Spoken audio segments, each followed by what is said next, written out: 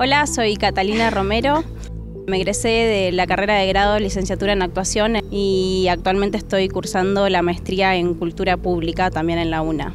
Presentaba como una nueva forma de, ver la cultura que estaba un poco alejado de la gestión cultural, que era lo que más estaba en boga en el momento, y me parecía interesante poder también eh, darle cauce a mi carrera académica que también estaba empezando y a algunos proyectos independientes que tenía. Se ha formado un grupo muy lindo y muy diverso. Tenemos compañeros que trabajan en el Teatro San Martín, compañeros que trabajan en la Biblioteca Nacional, eh, en el Ministerio de Educación y lo que también está bueno es que entre todos podemos eh, sumar a los proyectos de los otros. Hola, mi nombre es Joana Carrasco.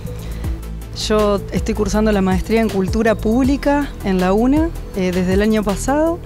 El programa es muy interesante porque es bastante heterogéneo. Los profesores eh, tienen perfiles muy diferentes.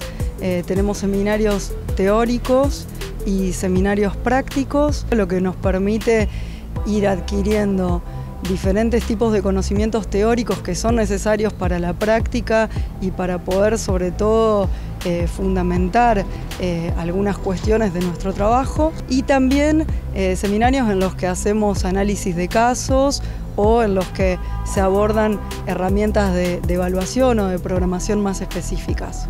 Bueno, durante este año la modalidad de cursada fue cada 15 días, los viernes por la tarde y los sábados por la mañana.